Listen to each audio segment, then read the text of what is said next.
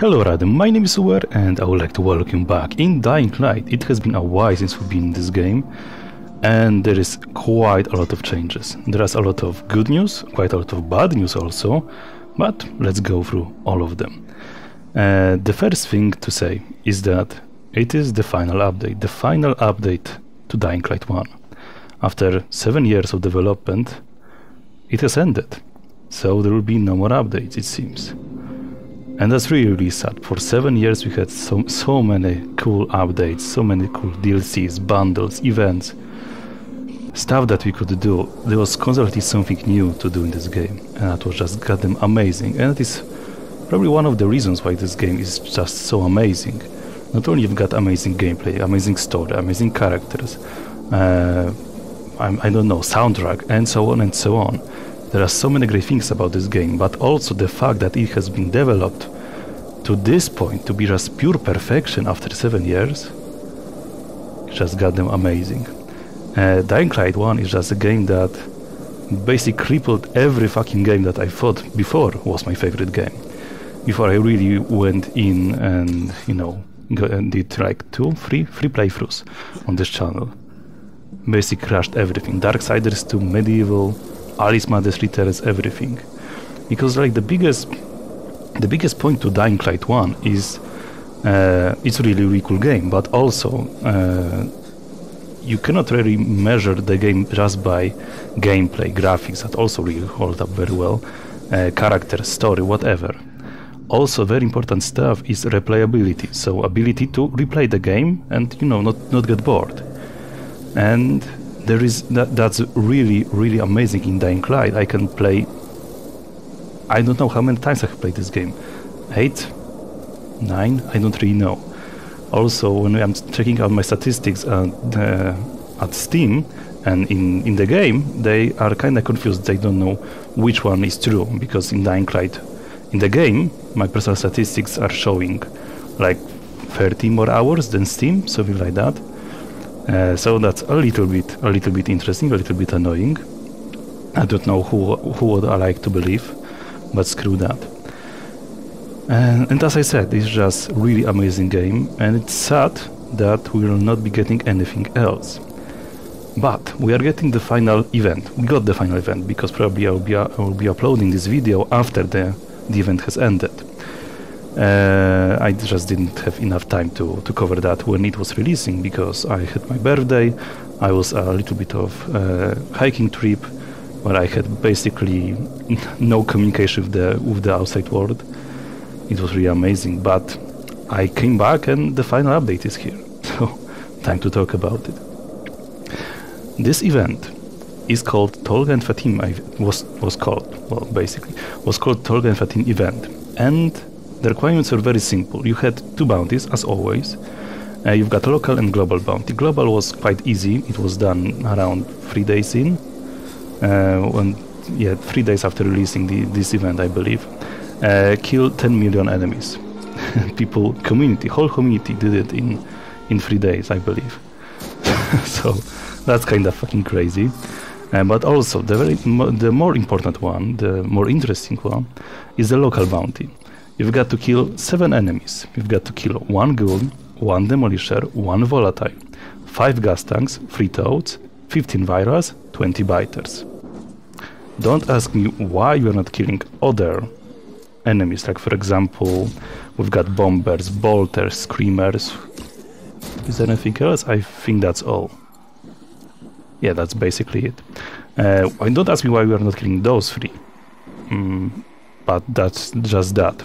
Uh, I guess it's so that um, all the players that are playing the game can earn the reward. It's just fucking amazing, without going really too crazy into into the game, like farming uh, and so on and so on. Like you just to kill one demolisher, uh, you you you had to do it during the the story, like three times, something like that. Uh, one volatile game never really forced you to kill volatile, but you can do it without too many problems uh, nowadays, so not really that big of a deal. Uh, and after you kill all of those, you are getting blueprint for really fucking amazing weapon. Weapon like no other, basically. uh, that is called Pocket 7. Maybe that Pocket 7 relies a little bit why we had to kill 7 enemies, 7 types of enemies, I don't really know. But basically, in, in the game, you've got different types of effects that you can apply to enemies. You've got poison, you've got electricity, freeze, you can also get like explosive arrows, you've got different types of grenades, and so on and so on. This weapon combines everything, all of that. So, for example, you can uh, you can shoot bullet that will uh, explode on impact, or that will electrocute enemies, or that will poison the enemies, or that will freeze the enemies, or it will give enemies, uh, well, group of enemies more specifically, uh, effects that were only available before from the Easter egg weapons that you could find in following and in the main game. So you had super zombie grenade, you had bullet grenade, and stasis bullets, stasis, stasis grenades, whatever they were called. And you've got all of those effects right now available in one weapon.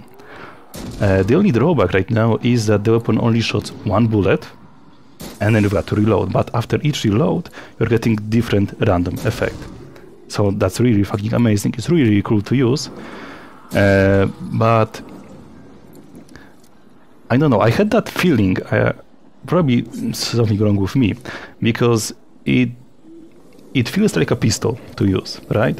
Because of that, most of the times, or it feels like a pistol, but also is very loud, so it attracts a lot of enemies. Let's put it this way.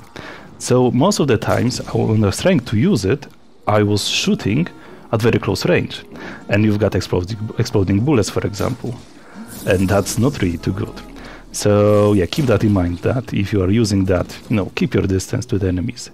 But also during this event, they brought back two amazing game modes, game modes, game effects. I don't know how to call them modes. Basically, they're always calling them modes.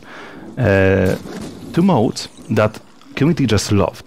If you remember low gravity event, it was goddamn amazing. It was released basically at the same time where astronaut band was introduced. Yeah. Uh, and with that, you had lower gravity. For example, you could jump higher. You were taking no fall damage, and if you if you used this this effect, I not I, I still don't know how to call it.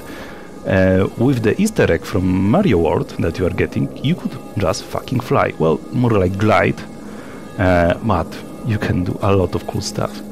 I remember when this uh, when this event launched, I was flying around the countryside. I could basically fly through the whole fucking countryside from the Temple of the Sun, uh, Eye of the Sun, sorry, Eye of the Sun to the fucking dam in one fucking go.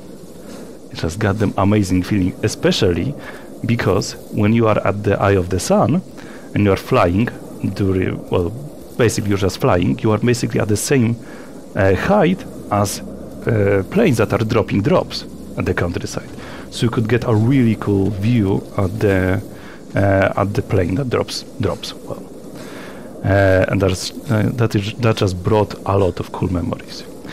And this event basically was very really, really fucking cool. I really enjoyed that. But I've got one question about the event, because before every time we had new event in the game, we had update. So that means probably, as, as, at least that's what I assume, is that they need updates in order to you know bring in events. Right? That's pretty pretty pretty understandable right? Okay but what happens if uh, if you would for example like to introduce events that are happening no matter if you do updates or not really for example every year during the christmas easter whatever halloween uh, there is always event going on without you updating the game like, couldn't they just did that? You know, every imagine every year during the Christmas you've got the same event.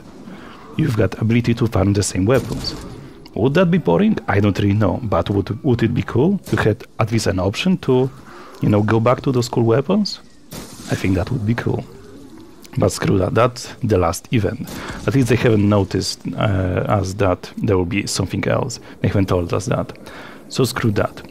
Other than that, with that final update, we also had a lot of balancing, tweaking, buffs, nerfing, and so on and so on to be the zombie mode. I wasn't really too much into that. I have played a little bit, but I'm not really too much of a co-op guy. Uh, I like couch gaming and so on and so on with my friends. but connecting with other people, not really my kind of kind of kind of gaming. Uh, but when I was playing, it was pretty pretty cool. But they did a shit ton of buffing, nerfing, and so on and so on. For example, right now they introduced ban list, so list of weapons that you cannot take into be the zombie mode, and that includes all Easter egg weapons, all shields, and few weapons for the bundles, for example, Last Wish, Inmate Rifle, Your First Range, and Deadeye Crossbow. Pretty, pretty interesting why they chose exactly those and nothing else, but screw that. Uh, I will probably not be playing in that, in that mode anymore, but that's that's cool. Also, they like did a lot of like very small tweaking. For example, I remember reading the patch notes and it was saying something like Zeit flares are right now they have shorter duration, stuff like that. So there's a shit ton of tweaking that they done to make this game, you know, a little bit more balanced. Uh, this game a little bit more balanced. So that's really, really interesting. Also, as basically with all the events, we had, we have new bundle. Probably it will be the final bundle, I would assume, because each bundle required uh, update to basically get the files needed for that bundle. And it's really cool one. It's really fucking amazing one. It's called Diesel Punk Bundle, and I I enjoyed using it a lot. Uh, let's start off with what are bundles. Bundles are basically small DLCs that are adding you new weapons, new outfits, and new buggy paint jobs. Pretty small, uh, pretty cheap, and so on and so on, but also pretty cool. New weapons are pretty fucking are pretty fucking amazing. You've got Gut Render, that is chainsaw that has bleeding effect that is applying on every hit. But also it is destroying enemy ar armor and it has very high critical chance. Uh, because of that you probably will be killing enemies very very fast. The only thing that uh, is wrong with this with this weapon is that it is not stutter stuttering enemies. Basically it's not stopping their attacks and so on and so on. So for example when you're fighting with Goon, with it, you're doing a lot of damage to him. But it's not enough damage to take him out. And because of that, he can swing his weapon and attack you. And because of the chainsaw has very limited range, you are. It is very hard to uh, to dodge that attack, basically. But for like small zombies, it's amazing because you killing them very very fast. Uh, as I said, I wish that there would be a little bit of stuttering effect, but screw that. It's still cool to use. The only thing that you would like to know is that you cannot upgrade this weapon. You are stuck with what the game is giving you. So with the stats that the game is giving you, you cannot upgrade like put king mods and so on and so on. And you've got also craft fuel from that, from chemicals. And you've got to refuel it. A little bit like you are reloading the gun. It's really fucking amazing. Second weapon is called Flesh Ripper, and basically like a machete, but with spikes on top. And this also playing mm, bleeding effect is very cool to use. Uh, and upgraded version of it is really fucking amazing. And also with this one, not crafting something from out of thin air and your materials, you are crafting it from your machete or whatever blades, right? So because of that, you can get really powerful weapon as, a, as your base and craft it into something even more powerful with bleeding effect. That is really fucking cool on this weapon. So it has potential to be really cool weapon if you will spend your time and get good weapons as a base. And also, with the third one, you've got Greaser, that is submachine gun. It's like okay, I never like submachine guns in the in the game uh, because they just feel not good enough. I don't know how to put it. Uh, they feel like they are just a little bit underpowered, something like that. Because pistols are doing a lot of damage, you've got rifles that are doing a lot of damage, and you've got some machine guns that are somewhere in the middle, and I don't know, I think they are just not scaling well, but maybe that, that is just me. It was cool to use this gun. It has really fast fire rate, and just cool to use. Uh, new outfit that they are introducing is punk beret and looks cool, but it is not giving any cool effects. Like for example, you had astronaut bundle that would let you astronaut outfit that would let you jump a little bit higher. You had Van Crane bundle, and with that you had the Van Crane outfit that had this interesting effect that when you throw your weapons, your weapon, it is going back to you, just like boomerang. Or you had a rust bundle that was giving you outfit that was reducing damage that you were taking. There was something else that was doing something. But it's sad that the last bundle is not introducing outfit that is giving another effect. I wish they would change that so every outfit would give you something else and I would write that down somewhere because right now we've got to just guess or remember. I wish they would do that, but not really, not, not the case. And also something new, something exciting is that they added new buggy skin. It's called Ragged Roadster. Looks cool and so on, but the coolest thing is not the look. The coolest thing is the effect. Because I believe that's the case Never before we had buggy out buggy skin, buggy paint job that was giving you effect on your buggy. It is the first one. It's said that it's in the last bundle, but it still is here. So if you paint your buggy with that paint job, you're getting 50% slower fuel usage. And it's fucking amazing. I wish that with final update it would just push a lot of new, a lot of, well, not really new outfits, but they would give a lot of more use to the previous outfits and paint job so that it, you would have kind of uh, you know you would be how, how to how to fucking put it uh, you would you would like to use specific paint job or specific outfit for specific situation that you are in or you know that you are getting for going for really hard mission you know change your bundle change your outfit change your paint job if you're going for i don't know farming run change the paint job change the outfit and so on and so on I wish they did, they did that, but not really. Not hasn't really happened. But still, we've got cool new paint job with cool effect. That's that. And that's it. That's it for Diesel Punk bundle. Nothing else in that one. Uh, other than that, other than updates to Be the Zombie, new bundle, new event, and a lot of uh, updates to the game. Uh, for example, right now, finally, we are going to Hellraid or to the uh, to the Bozak Horde. The game was stripping you out of your inventory. You everything was going to the stash, right? And after that, you had to re-equip that, and so on and so on. It is not happening right now. Right now, it is going to the stash, but you are re-equipping that when you are going back to the to the story mode, following mode, and so on and so on. It's really fucking amazing. I was I was really, really annoyed by that, and I'm glad that they fixed that. Uh, it's sad that it happened only at the final update, but still, it's here. And for example, they did a lot of rebalancing with the Demolisher fight at the pit when Rais is taking you to, into the pit. For example, the machete over there is uh, has better stats, and there is something did something else and so on with that. I have been reading patch notes, but there are like a lot of mm, really small changes that they did that are really cool and but you will probably not really notice that too much in the game. But in, in general game should feel a lot more balanced a lot more polished and they fix a lot of like texture glitches and so on and so on. So i feel like the, we are at this point after seven years that this game is just perfection. There is nothing else to be had other than things that i'm kind of annoyed with that i'm saying you.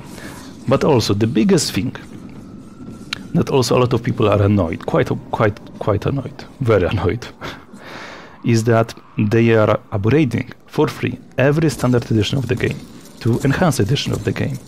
So the standard edition is only story, and like the like, like the free bundles that you can get, there are a few of them, and you are winning it to enhanced edition that has the following DLC, amazing DLC that is like must have for Dying Light 1 fun because you then getting a full story that is later on, for example, they are going back to it in Dying Light 2. It is important to get the following to get the full grasp of the story, right? Uh, you are also getting Cuisine Cargo. I believe that was the first DLC to this game. I'm pretty sure that was the first DLC to the game. And that was giving you more quarantine zones. Just two more quarantine zones, but more. And quarantine zones are just like dungeons in your every RPG game, but you are just going to the locations that were the first infected in the in Harran were brought there because military thought they could, you know, control the outbreak. it didn't really happen. Because of that, they were closed for a really long time, and because of that, they've got a lot of loot. For example, a lot of drops. And quarantine zones are the best way to farm drops if you would like to, you know, get more experience. We are also getting Bozak Horde. That is cool, uh, but as I said before, uh, Bozak Horde and Prison Heist are two DLCs that I kind of understand why they are here, but I kind of wish they would have done a little bit different because they are time trials. I hate time trials in the games. Uh, so, but I prefer Bozak Horde to Prison Heist, that's for sure. Bozak Horde is really, really cool, and I think it is a little bit cooler when you're doing that in, in co-op, but I haven't done it. Uh, so screw that. You're also getting Ultimate Survival Bundle and Crash Test Skin Bundle. I believe they were one of the first bundles. Two first bundles, I believe and that you are getting. So yeah, that's cool. And why people are mad about that? Because they're getting stuff for free. Well, they are getting stuff for free, but only the people that bought standard edition and nothing else, they are getting something for free. Because I would like to remind you that we had few editions of the game. We had standard edition, enhanced edition. I believe there was something for 5th anniversary. It was called 5th anniversary edition. And we also had platinum edition of the game. Other than that, for example, on Steam, you've got quite a lot of like collections. I believe they are called like uh, you've got, for example, Ultimate Ultimate DLC collection, Ultimate Bundle collection, something like that. That uh, is giving you opportunity to buy bundles that are a little bit cheaper because you are buying in bulk. Uh, so most of the people already had all of that.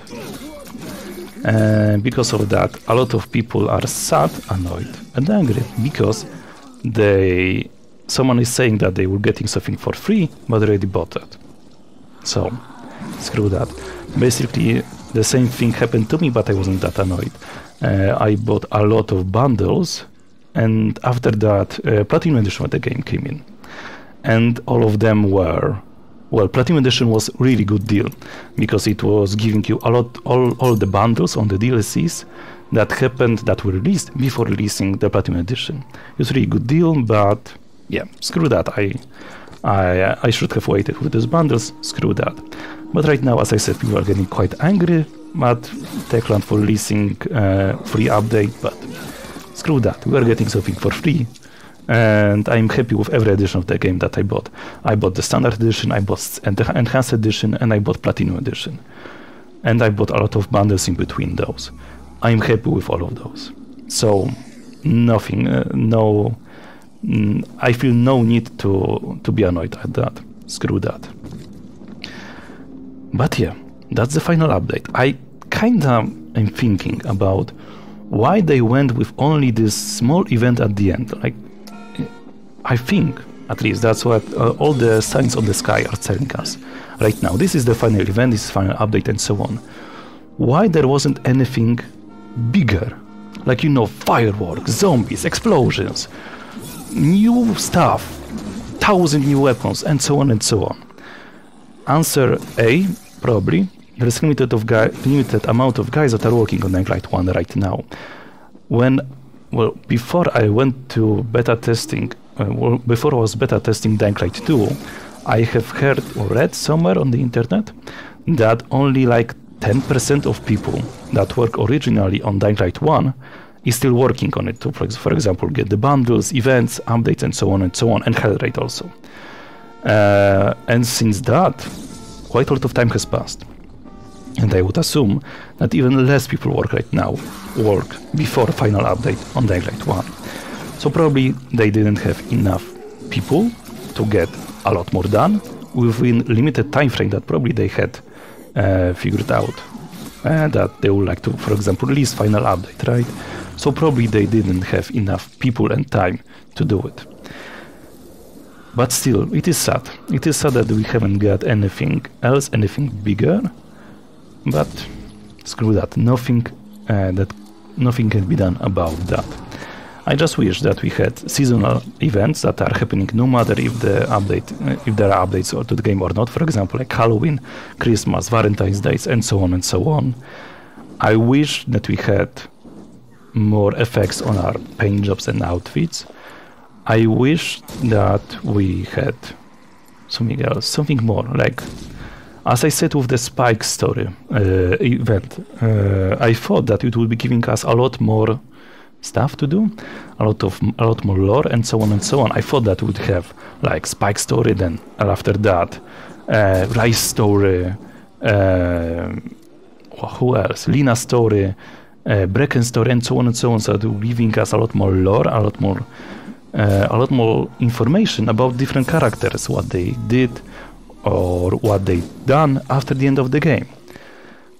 But with Spike's story, we only had, well, stuff that we had to do in the game, and all the other information was released to us through either patch notes or trailers for the event. And I was hoping that there will be, for example, we complete the event, uh, the final Spike story event, part 3, I believe it was called, you would get a message, a radio message from Spike telling you, hey Crane, good job, I'm leaving the town, I'll be trying to find someone else, I will, I'm leading uh, survivors out of here, and I wish you good luck on getting the cure from the countryside. Like just few words. Give me something in the game that would tell me a little bit more or give me a quest about it that you can do no matter if you are doing the event or not. Like after you complete the main game, give me a quest that is basically what the event has done. So help survivors, something like that. Uh, help survivors after that organic message so that you know that even if you haven't heard about the event, if you have, haven't uh, seen the trailers and so on and so on, you are getting information what happened to Spike and you know that in Dying Light 2 he returns. I wish that, that something like that was done, but not really. Screw that right now. Nothing will change that. I'm just sad. And that's it. There is one more thing also that I would like to talk about, but not in this video because we are kinda running out of time and I am still not done with checking out the updates for Hellraid because Hellraid, the youngest DLC in Dying Light family, has had the final update also. And right now I'm playing through it and trying to get the, the coolest weapon that they added. Uh, but there's a lot of changes and because of that I also wanted to do it in a separate video. But the weapon that was introduced in the Hellraid, the final update of Hellraid, you can also buy from the Hellraid shop and use it in Harran, just running around. And it's goddamn amazing to use. Oh my god. But yeah, that will be it for this episode. That will be it for Dying Light 1 for right now, I think. If there will be any more updates, news, uh, dockets, anything like that, I will try to give you information about that. But for right now, it seems like that's the end. It's not the end of Dying Light, don't get me wrong. It's not goodbye. Because there's still amazing community in this game. There is still a, a lot of stuff to do in this game. But it is just the end of the updates for Dying Light 1. After 7 years, the time has come. So yeah, not goodbye, but just the end of uh, the end of updates. That will be it for this game, for this episode. Right now, I will be ending this episode right here. So if you like this one, give it a like and tips, tricks, ideas, anything like that, give me a comment. And if you like this more content like that, then please subscribe. That will be it for this episode. Thank you for watching. And of course, see you in the next one. Bye bye.